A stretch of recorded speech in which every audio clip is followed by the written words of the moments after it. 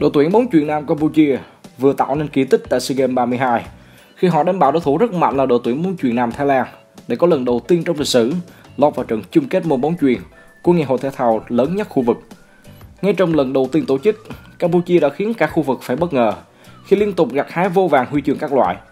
Và việc đoàn thể thao chủ nhà về nhất toàn đoàn tại SEA Games năm nay là điều hoàn toàn có thể xảy ra.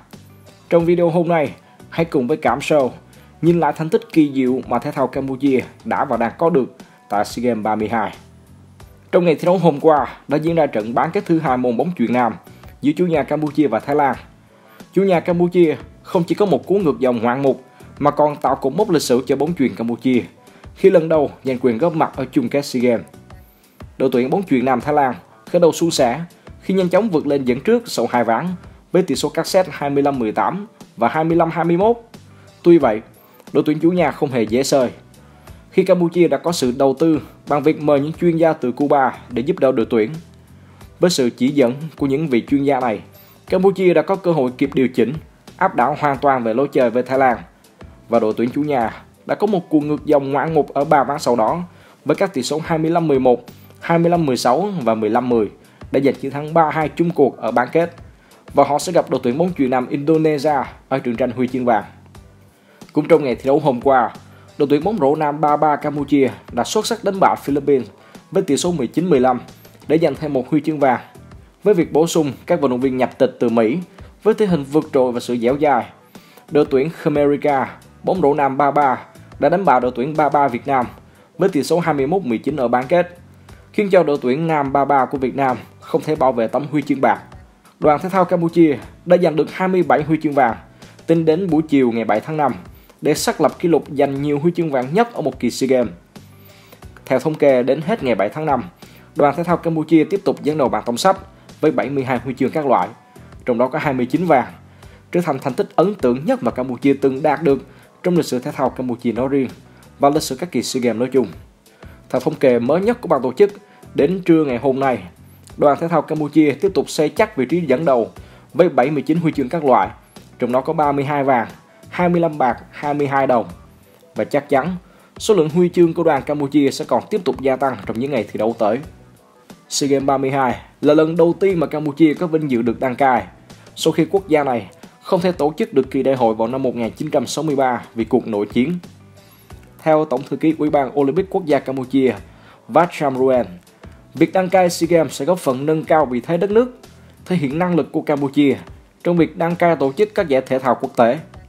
Đây cũng là cơ hội để Campuchia giới thiệu ra bạn bè quốc tế một đất nước hòa bình, ổn định, phát triển, đồng thời thúc đẩy du lịch, quảng bá phong tục và văn hóa truyền thống Campuchia.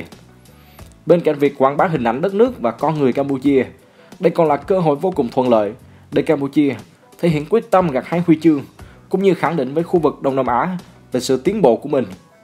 Nước chủ nhà cũng gây ấn tượng mạnh trong khâu tổ chức khi quyết định mở cửa tự do cho toàn bộ khán giả đến theo dõi các môn thể thao tại SEA Games 32, cũng như lễ khai mạc và bế mạc. Bên cạnh đó, nước chủ nhà còn miễn chi phí ăn ở, đi lại cho các đoàn vận động viên đến Campuchia tham dự SEA Games lần này. Một buổi lễ khai mạc hoành tráng và đầy màu sắc đã diễn ra vào tối ngày 5 tháng 5 tại sân vận động quốc gia Morodok Techo ở thủ đô Phnom Penh. Năm nay, đoàn thể thao Campuchia tham dự SEA Games với hơn 1.200 thành viên, trong đó có 896 vận động viên đây được xem là lượng vận động viên đông đảo nhất trong lịch sử của Campuchia ở các kỳ đại hội thể thao. Trong quá khứ, tại kỳ đại hội lần thứ 6 diễn ra vào năm 1971 tại Malaysia, khi đó còn mang tên gọi là Seap Game. Thành tích tốt nhất của thể thao Campuchia tại đấu trường này là 53 huy chương, trong đó có 17 vàng, 18 bạc và 18 đồng. Ở kỳ đại hội gần nhất lần thứ 31 diễn ra ở Việt Nam, đoàn Campuchia nhận được 63 huy chương, trong đó có 9 vàng, 13 bạc và 41 đồng. Với việc là nước chủ nhà của SEA Games 32, Campuchia hoàn toàn có cơ hội để giành quyền về nhất toàn đoàn. Bởi rất nhiều kỳ SEA Games trong quá khứ chứng kiến sự lên ngôi của đoàn thể thao nước chủ nhà. Năm nay, chủ nhà Campuchia cũng đưa một số môn thể thao độc lạ vào nội dung thi đấu như Kunbo cờ ốc, techball, vượt chướng ngại vật hay jet ski cũng thể hiện phần nào quyết tâm hai vàng từ nước chủ nhà.